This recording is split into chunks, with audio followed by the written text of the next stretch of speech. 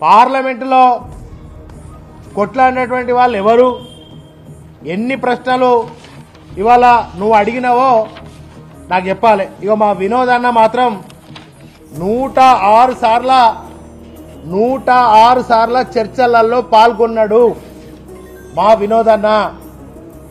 అంతేకాదు తెలంగాణ రాష్ట్రం కోసం ముప్పై రెండు పార్టీలను ఏకం చేసినటువంటి ఒక ఉద్యమకారుడు కేసీఆర్ గారికి ఒక కుడుభుజంగా నిలిచి తెలంగాణ వచ్చేదాకా పోరాటం చేసిన ఒక పోరాట యోధుడిని పట్టుకొని ఇవాళ కరీంనగర్కి ఏం చేయలే? తెలంగాణకి ఏం చేయలే అని ఎడ్డోన్ లెక్క మాట్లాడుతున్నాడు.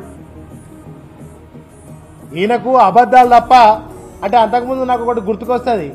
ఎన్నికల జరుగుతున్నప్పుడు గుండెపోటు వచ్చిందని ఆ ఆసుపత్రిలో పడి అప్పుడు కాంగ్రెస్ వాళ్ళను ఈ బీజేపీ వాళ్ళు ఇద్దరు ఒక్కటై ఆనాడు మోసం చేసి గెలిచినటువంటి రీతిలో మళ్ళొక ప్రయత్నం అప్పుడు ఆయన అచ్చం కమలసన్ లాగానే యాక్షన్ చేసిండే. ఆస్కర్ అవార్డు కూడా ఇవ్వచ్చు అమ్మతోడు మరి ఇవాళ ఐదు వందల యాభై మూడు ప్రశ్నలు అడిగినటువంటి ఈ దేశంలో ఈ దేశంలో ఇప్పటి వరకు ఒక పార్లమెంటు సభ్యుడు ఒక ఒక రెండు వేల పద్నాలుగు నుంచి పంతొమ్మిది వరకు ఐదు వందల యాభై మూడు ప్రశ్నలు అడిగినటువంటి ఎంపీ ఈ దేశంలో ఎవరన్నా ఉన్నారా?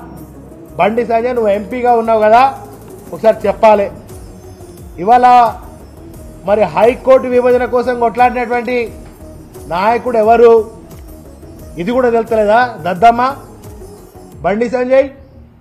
మరి అదేవిధంగా ఖమ్మం జిల్లాలో ఏడు మండలాలు ఆంధ్రాలో కలుపుతుంటే చూసుకుంటున్నారు కానీ మరి ఈ తెలంగాణలో ఆ మండలాన్ని ఉంచాలనేటువంటి పోరాటం చేసినటువంటి యోధులు ఎవరు? ఇది గుర్తుకుందా దద్దమ్మ బండి సంజయ్? ఇవాళ కాళేశ్వరం కానీ పాలమూరు రంగారెడ్డి కానీ ఇరిగేషన్ ప్రాజెక్టుల కోసం కొట్లాడింది ఎవరు? ఆ యోధుడెవరు ఆ వీరుడెవరు నిజంగా తెలంగాణ కోసం కొట్లాడినటువంటి ఎంపీ ఎవరు అనేటువంటిది నీకు తెలుసా? నువ్వు కరీంనగర్లోనో తెలంగాణలో ఉన్నావా అసలు?